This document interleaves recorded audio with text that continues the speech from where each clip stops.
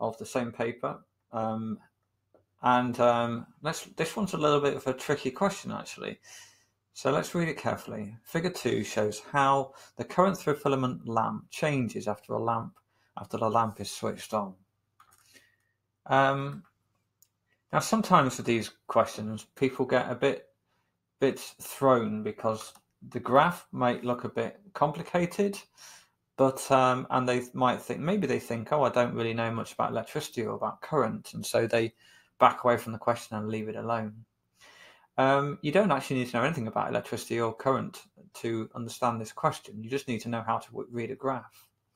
So it says the normal current through the filament lamp is 0.5 amps. So you can see that because whoa what happened there Okay, you can see that because it's it's this line here.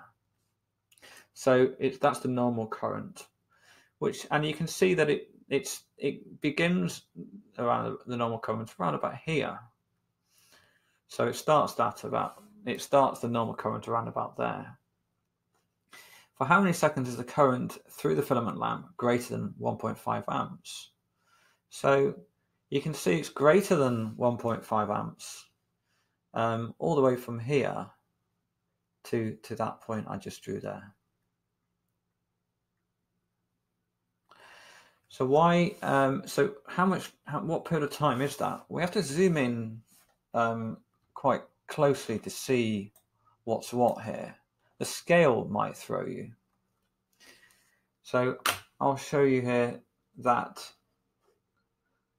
So if I click use this maybe. If that's 0.05, there are 10 squares. That, that means that each two squares would be 0.01. So 0.01, 0.02, 0.03, 0.4, 0.4, 0.05. So that means it starts at this one, right? So I'm going to just make a, a, a, a finer point here. It starts there. Well, a bit wonky, but okay. So that is two squares, which means that it means it starts at 0.01. And it finishes two squares from the end, which means it finishes 0.01 less, which means that must be 0.09. Okay. So the difference, in fact, is between those two numbers, which would be 0.08. And they're really, really quite, um, quite evil here. actually, you know what? You could fluke this answer. So, because what somebody might do is they might think they might see two squares from 0.01 and go, oh, that's 0.08, and then read no other part of the question and write 0.08 and they get the answer right. It may seem a bit unfair because um, they haven't taken into account that this beginning bit is is below 0.05, sorry, 1.5 amps as well.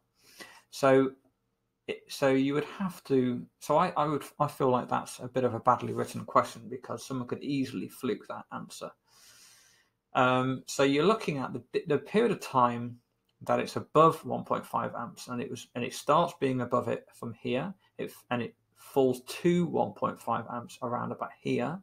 So it goes from 0.01 seconds to 0.09 seconds which means the difference is 0.08 incidentally the reason uh, why uh, this graph explains the reason why often your light bulbs will blow just as you turn them off. If your the filament inside the lamp is getting really worn down you can see just as you turn it on, you get this shoot of current. Um, and so that's why it's much more likely to blow at that point when then once it's been around, been on for a while. Okay, let's continue. Why might this might actually? Oh dear, this is. I've just given you the answer to the next question. Okay, so why might the filament inside a lamp melt when a lamp is first switched on? Okay, so I've just told you the answer, haven't I? It's um. So the answer is because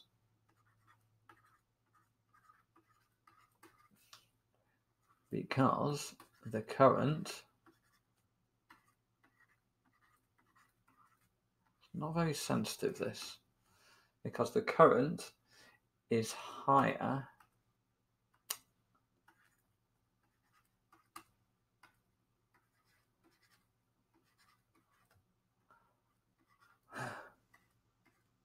than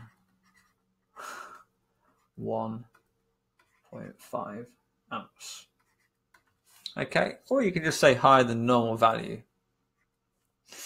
All right, so that's that's that. The lamp the lamp is connected to a 24 um, volt power supply. The current through the lamp is 1.5 amps. Calculate the power of the lamp. Oh, these questions are really easy. You, a lot of people are so scared of maths and physics, but they've just given you the equation. They ask you to calculate the power, and then they tell you that the power is equal to the potential difference times the current. They tell you the current. Oh, and well, you would have to know that is potential difference. But you, you could probably guess, couldn't you? Because there's they've given you the current, so it's um so the, the number might be the potential difference. So really, if you if you are if you are a little bit scared of these maths questions at the moment, I really recommend that you you um, get over that get over that fear. So you're just going to do 24, oops, 24 times 1.5. So 24 times 1.5 ends up being 36 watts, which is, and they've given you the unit there. Okay. Again, I'm not going to go into what power is or anything. We don't need to know what power is for this question. I'm not teaching you and, and the subject at the moment. I'm just teaching you how to answer this question. For other, if you want to learn learn about power, uh, you can watch some of my other videos if they're available yet. They're not at this moment of recording, or you can contact me for tuition. Okay, so 2.4 LED lamps are much more efficient than filament lamps. What does this statement mean? LED lamps have a similar output. Okay, we just what's this? What is this question testing? Well, it's just testing that you understand what this mean. This word means. So, what does efficient means?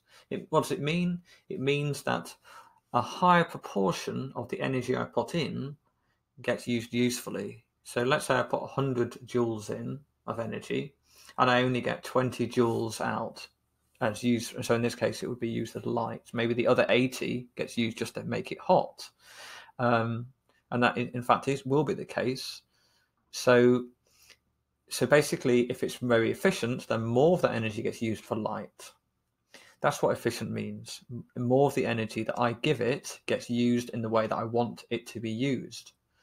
So, which one seems to fit that descript, fit that definition? LED lamps waste a smaller proportion of the energy, input energy, than filament lamps. Um, so I'll start at the top. LED lamps have a similar output to filament lamps. Well, it may do, it may not. In fact, I think it does, um, because, but that's whether or not it's true is different to what, what, what, what the question is. The question is asking you which one does that mean. It does not mean that. It does not mean that. LED lamps have waste a smaller proportion of the input energy um, than filament lamps. Yeah, that's what it's saying. Let's just read the other ones. LED lamps have a higher input than filament lamps. Um, no, uh, it actually it would have a lower input. It's designed to produce the same amount of light and um, with a lower input. But again, it doesn't matter whether it's true or not. It's about it's not asking you which one's true. It's asking you uh, which one means the above statement. LED lamps waste a larger proportion of the input energy than filament lamps. Um, and that would be definitely false and also not mean the above statement. Okay. All right, we'll stop there and I'll make a video for question three.